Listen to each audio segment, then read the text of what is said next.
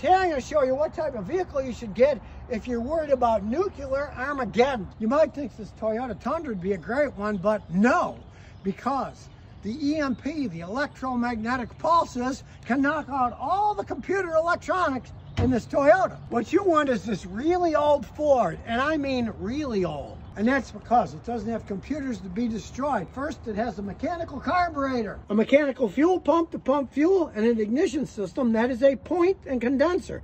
It has a mechanical piece that opens and closes. It's not using magnetism like a modern vehicle. Plus, this F700 has plenty of ground clearance and four tires in the back, so if one of them pops, you can still make your getaway. It's got plenty of room in the back, so bring all your friends too.